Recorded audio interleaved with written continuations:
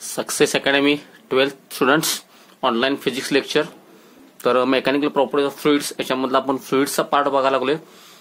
याच्या अगोदर आपण सर्पेटेशनचा भाग बघितला. आता फ्लुइड्स याच्यामध्ये बघत असताना आपल्याला माहिती आहे की फ्लुइड्समध्ये डिफरंट लेयर्स असतात. फ्लुइड्समध्ये काय असतात? डिफरंट लेयर्स असतात. आणि त्यांच्यामध्ये काय होतं? रिलेटिव्ह मोशनमध्ये अपोजिशन टू द फोर्स त्याला आपण म्हणतो viscous force the opposing force for their relative motion is called as viscous force जसं सॉलिडमध्ये असतं फ्रिक्शनल फोर्स तसं फ्लुइडमध्ये असतं विस्कस फोर्स बरोबर आहे? आणि त्याच्या प्रॉपर्टीला आपण काय म्हणतो? That is called as viscosity now मी तुम्हाला लास्ट लेक्चरला सांगितल्याप्रमाणे now we are going to study Newton's law of viscosity तर न्यूटननं विस्कॉसिटी बद्दल एक लॉ मांडलेला आहे. ठीक आहे? मग आतापर्यंत आपण बघितले की there are two types of flows one is streamline flow laminar flow किंवा स्ट्रीमलाईन फ्लो आणि दुसरा कुठला असतो? क्रिटिकलपेक्षा जर वेलोसिटी जास्त झाली random motion for velocity it is called as turbulent flow पण न्यूटन्स लॉ ऑफ विस्कॉसिटी हा कोणासाठी आहे? लक्षात घ्या. It is mainly for streamline flow बघा सगळा. हा याचं पहिल्यांदा आपण स्टेटमेंट समजून घेऊया आणि मग आपण स्टेटमेंट वर्डिंगमध्ये बसवायचा प्रयत्न करूया. फॉर स्ट्रीमलाईन फ्लो आता आपण डिस्कस करतोय Newton's law of viscosity for streamline flow turbulent फ्लोसाठी हा लॉ नाही आहे न्यूटन्स लॉ ऑफ विस्कॉसिटी कोणासाठी आहे? फॉर स्ट्रीमलाईन फ्लो जो विस्कस फोर्स आहे म्हणजे अपोजिंग फोर्स आहे. ऍक्टिंग ऑन एनी लेअर कुठल्याही लेअरला वरती जो अपोजिंग फोर्स काम करणार आहे टर्बुलनच्या स्ट्रीमलाईन फ्लोच्या कुठल्याही लेअर असू दे त्याच्यावरती जो अपोजिंग फोर्स म्हणजे विस्कस फोर्स आहे बरोबर आहे? तो त्याच्या लेअरच्या एरियाला डायरेक्टली प्रोपोर्शनल असतो. म्हणजे हा विस्कस फोर्स दोन गोष्टीला काय आहे बघा डायरेक्टली प्रोपोर्शनल आहे. एक म्हणजे F directly proportional A A म्हणजे काय आहे? एरिया ऑफ लेअर आहे लक्षात घ्या. एरिया ऑफ लेअर त्या लेअरच्या एरियाला डायरेक्टली प्रोपोर्शनल जेवढा लेअरचा एरिया जास्त तेवढं फिक्शन विस्कस फोर्स जास्त असणार आहे.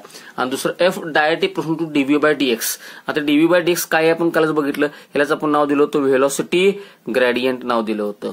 ह्यालाच आपण नाव दिलं होतं वेलॉसिटी ग्रॅडियंट म्हणजेच थोडक्यात viscous force acting on any layer for streamline flow viscous force acting on any layer is directly proportional to area of layer and it is also directly proportional to d by d x म्हणजेच काय? Velocity gradient म्हणजे या दोघांना जर एकत्र केलं तर आपलं काय मिळणार? F directly proportional to A d by d x आणि हाच काय आहे?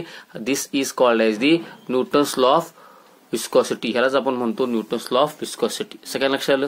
काय सांगणार सांगा वर्डिंगमध्ये for streamline flow the viscous force acting on any layer is directly proportional to area of layer and its velocity gradient म्हणजे थोडक्यात ए आणि डी बाय डेक्सला विस्कस फोर्स कसा आहे डायरेक्टली प्रोपोर्शनल मग आपल्याला माहिती आहे इज इक्वल टू करताना आपल्याला काय काय लागणार?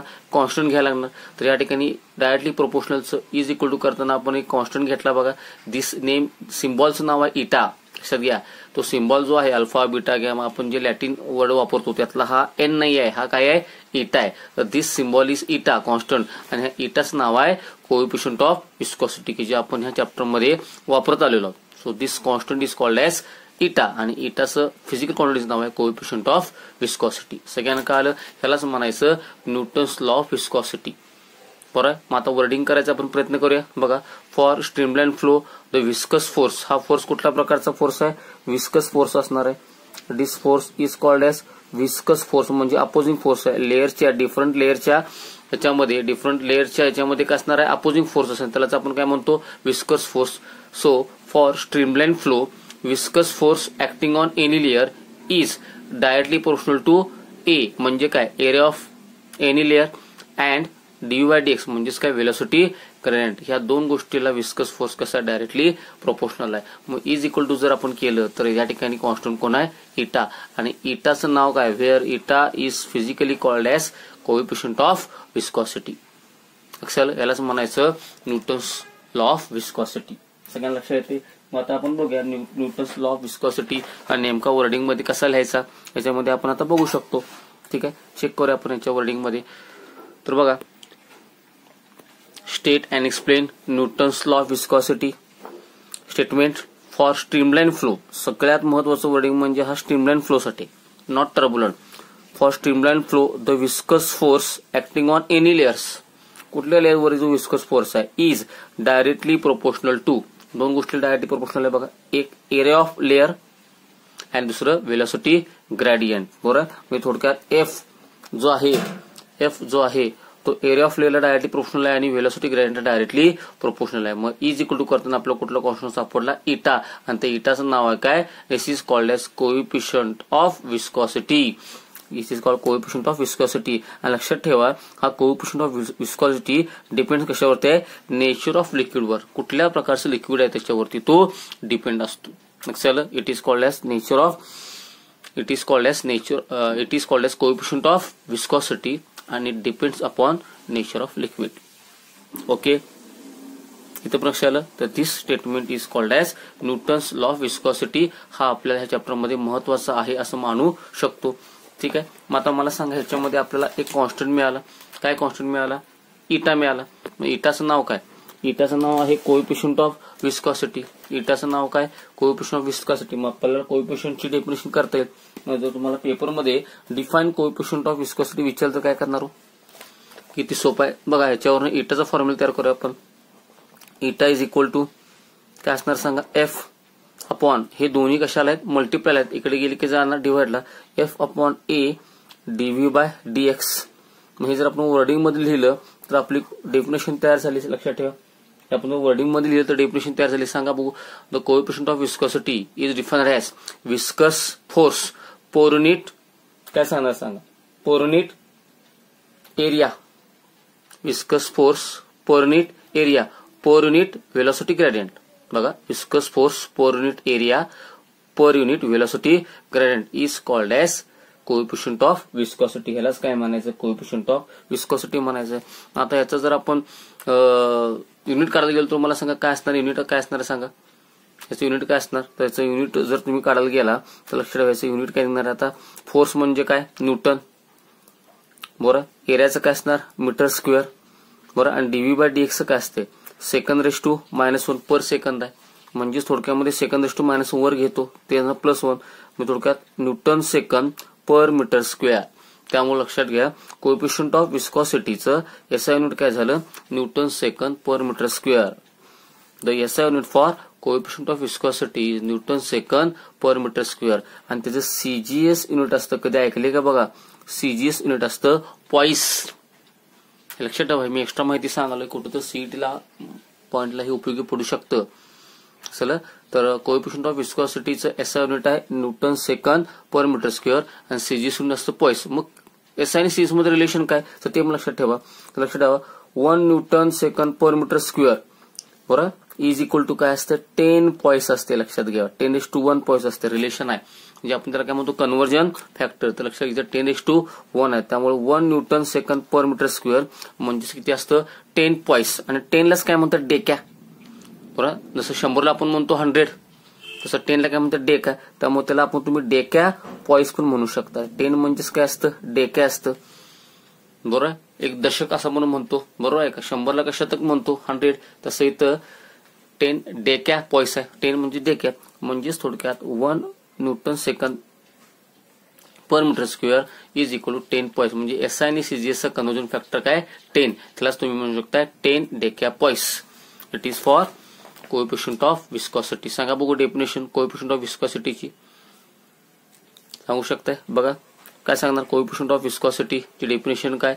Viscous force per unit area per unit velocity gradient is called as coefficient of viscosity so formula f upon a upon dv by dx SI unit newton second per meter square cgs unit poise किती SI बरोबर किती poise तर one newton second per metre square म्हणजे ten poise आहे ten म्हणजे deca poise हे तुम्ही लक्षात ठेवू शकताय.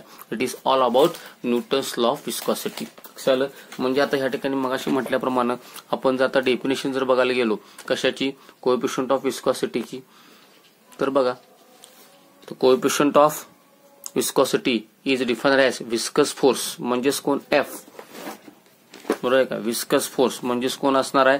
एफ पर युनिट एरिया बघा viscous force per unit area per unit velocity gradient बरोबर viscous force per unit area per unit D by DX म्हणजेच काय? वेलोसिटी ग्रॅडियंट बरोबर so though coefficient of viscosity different as the viscous force per unit area per unit velocity gradient आणि S I unit काय त्याचं? Newton second per metre square बरोबर newton second per metre square त्यालाच तुम्ही काय म्हणू शकताय? डेकॅप पॉईस आणि त्याचं सीजीएस युनिट जे आहे ते काय आहे? पॉईस आहे लक्षात घ्या. त्याचं सीजीएस युनिट काय आहे? पॉईस आहे. लक्षात आलं? याचं युनिट काय झालं? Newton second per metre square. आणि त्याचं सीजीएस युनिट इज काय आहे? पॉईस आहे. आणि वन पॉईस याच्यामध्ये किंवा टेन पॉईस असू शकतो. किती असू शकतं? टेन पॉईस त्याला आपण म्हणतो डेक्या पॉईस म्हणू शकतो. लक्षात आलं? So one newton second per metre square म्हणजे टेन पॉईस आहे. पॉईस हे त्याचं काय झालं? सीजीएस युनिट झालं. लक्षात आलं? पॉईस हे त्याचं काय झालं? सीजीएस युनिट झालं. लक्षात घ्या. त्याच्यामध्ये रिलेशन काय असणार? टेन पॉईस म्हणजे वन डेक्या पॉईस असं पण आपण त्याला म्हणू शकतो. It is all about Newton's law of viscosity त्यानंतर अजून एक आपल्याला लॉ आहे. त्या लॉचं नाव आहे Stokes law Stokes is the name of scientist लक्षात द्या Stokes is the name of the scientist एका सायंटिस्टने जसं न्यूटन्स लॉ ऑफ विस्कॉसिटी आहे तसं आता आपल्याला आहे स्टोक्स लॉ आपल्या परीक्षेमध्ये क्वेश्चन पडू शकतो. स्टेट अँड एक्सप्लेन काय पडू शकतो? State and explain Stokes law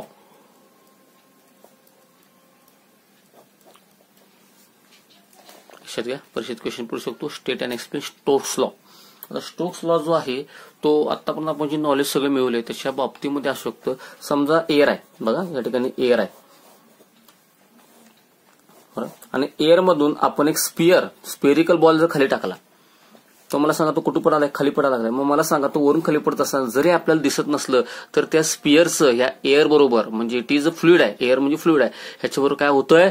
घर्षण होत असते जरी आपल्याला दिसत नसलं तर. आणि तो जो फोर्स आहे तो फोर्स म्हणजे तो अपोजिंग फोर्स काय करतो? त्याच्यावरती ऍक्ट होतो. त्यालाच आपण काय म्हणतो? It is called as the viscous force F V viscous force बरोबर आहे का? तो त्याच्या गतीला काय करायला बघतो? विरोध करायला बघतो. तो त्याच्या गतीला काय करायला बघतो? विरोध करायला बघतो. That is called viscous force पण स्टोक्सनं असं उडकून काढलं की हा विस्कस फोर्स जो आहे हा जो विस्कस फोर्स आहे हा तीन गोष्टीला डायरेक्टली प्रोपोर्शनल आहे. एक पहिली गोष्ट म्हणजे त्या स्पिअरची रेडियस. जो स्पिअर फॉलिंग आहे फॉलिंग डाऊन आहे त्या स्पिअरची रेडियस. दुसरी गोष्ट म्हणजे त्याची चालू असलेली वेलॉसिटी तो किती गतीनं खाली पडायला लागलाय त्याची असणारी वेलॉसिटी. आणि चौथी गोष्ट म्हणजे ज्या फ्लुइडमधनं खाली पडायला तिथलं त्याचा काय असणार आहे? It is coefficient of viscosity coefficient of viscosity ह्या तीन गोष्टीला हा विस्कस फोर्स काय डायरेक्टली प्रोपोर्शनल आहे. बरोबर? हा लॉ कोणा बाबतीत आहे? स्टोक्स लॉ त्यामुळे सगळ्यात पहिला लक्षात घ्या. सगळ्यात पण लक्षात घ्या स्टोक्स लॉ जो आहे स्टोक्स लॉ जो आहे तो कोणासाठी आहे? तर it is freely falling sphere body spherical बॉडीसाठी बरं फॉलिंग स्पेरिकल बॉडीसाठी तो बॉडी कशामधून खाली पडायला? व्हॅक्यूम मधून नाही. कुठल्या तरी व्हिस्कस मीडियममधून खाली पडायला की जे त्याला विरोध करणार आहे. मग ते एअर असेल वॉटर असेल. आता मला सांगा एखादा स्पिअर तुम्ही एअर मधून खाली टाकला आणि तो स्पिअर वॉटर मधून खाली टाकला. तर लक्षात ठेवा त्याला त्या जास्त घर्षण कशामध्ये होईल? सांगा भाऊ जास्त त्याला अपोजिंग कशामध्ये होईल? वॉटरमध्ये जास्त होईल.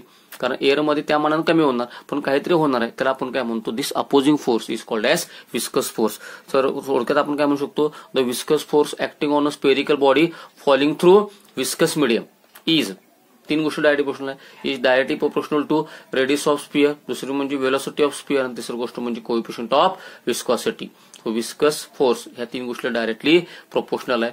लक्षात आलं? मग इज इक्वल टू करताना ह्या ठिकाणी इज इक्वल टू करत असताना ह्या ठिकाणी जो कॉन्स्टंट आहे तो किती आहे बघा? सिक्स पाय आहे. लक्षात ठेवा इज इक्वल टू करताना कॉन्स्टंट काय? Six pi it is the constant बाकी इटा आरवी आहे तसं. So F V is equal to six pi eta RV so viscous force acting on a spherical body freely falling तो the viscous ball हा तीन गोष्टी directly proportional आहे. कुठल्या कुठल्या तीन गोष्टीला? Viscous force acting on a spherical body falling down through the viscous medium is directly proportional to radius of sphere velocity of sphere आणि कोएफिशियंट ऑफ विस्कॉसिटी आणि याचा कॉन्स्टंट कोण आहे? सिक्स पाय आहे. सो फायनल काय झालं? F is equal to six pi eta R V and that statement is called as Stokes law that statement is called as Stokes law चांगलं लक्षात येते मी हळूहळू एक एक एक पॉईंट कव्हर करतोय मुद्दा एकमेकांमध्ये नको. मग आता हेच आपल्याला थेरॉटिकल लेवलला जर आपण ज्यावेळेला करायला जाऊ त्यावेळेला माझ्या मते स्टेटमेंट कसं लिहायचं हे आता आपण बघूया. ठीक आहे. मग आता थिओरिटिकल लेवलला जेव्हा स्टेटमेंट आपण लिहिणार आहे त्यावेळेला स्टेटमेंट कसं असणार आहे जरा बघा. लक्ष आहे सगळ्यांचं. दिसतंय व्यवस्थित. मॅक्झिमम प्रयत्न करतोय मी.